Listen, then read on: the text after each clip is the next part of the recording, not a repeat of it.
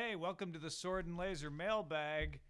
Look who's here. Hey! Veronica came all the way here to admonish me for not uploading these to the Sword and Laser channel. So guess what? From now on, these will be uploaded to the Sword and Laser channel. And maybe I'll do some. Ooh, that'd be good. Yeah. Do you get some mail? No, but I buy a lot of books. Yeah, we could do that. Okay. Uh, so what we do is we go to the Sword and Laser mailbox, we get things, and we open them. This one, like, this one is to you. Oh, okay. It's Veronica Belmont. Wait, so do you mean that you're committing mail fraud every time you open up a package? no, because it's Sword and Laser it? LLC, and we are members. We're is the legal term. We're co-owners. members of the Sword and Laser Limited Liability Company.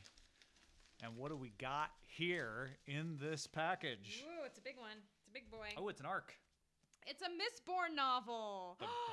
Ooh, it's a Brandon Sanderson novel, you guys. Holy majoli. Are we supposed to talk about this? Are Yeah, we allowed to? that one's not coming out till January 2016. I don't think we're allowed to read it aloud, but you can say what it's about. That's definitely illegal. Okay.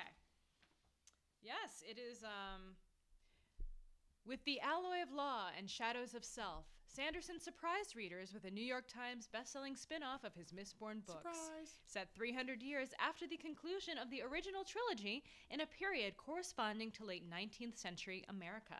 And just as the alloy of law and shadows of self, the new novel can be read as a standalone. Boom! Nice. I know a lot of you want that. Boom! Now this next one comes attention Tom Merritt. I most never uh, most often there's nothing addressed to me. So this is this is unusual. Are you saying that most things are addressed to me? Yes, they almost all are addressed to you. It's really I hope I didn't ruin it.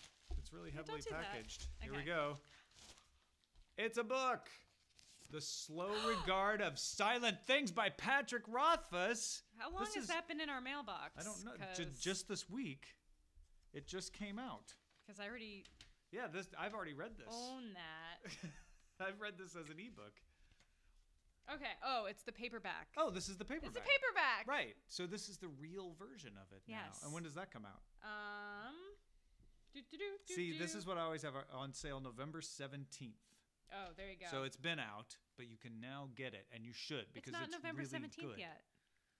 It's only November. Oh, November in 12th. six days, you should get it because it's really good. Uh, no, you read you read this right? I It's all haven't about read it yet. I know it's about Auri. I haven't had a chance to read. So Uh, and it's so, so good. Deep below the university, there is a dark place. Few people know of it. A broken web of ancient passageways and abandoned rooms.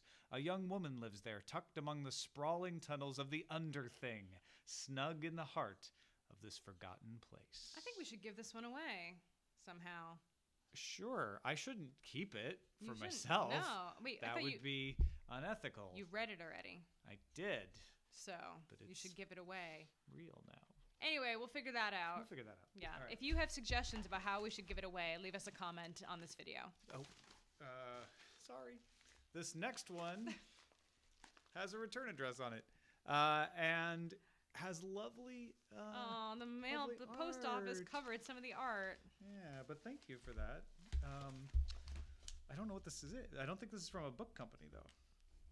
It's from Portland. It's from well, yeah. Oh, it is a book though. Ah, And things. things, things that are falling. What does the note say? Veronica and Tom and intern who answers the mail. Ha ha!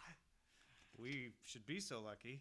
It's a green thing. Oh, it's gonna be more. It's this little spyglass. Having a terrible time. Uh, I know you don't review books for the site, but I wanted to gift you a copy of my book since you're one of my favorite podcasts. Just having you see it, hold it, sniff it is honor enough.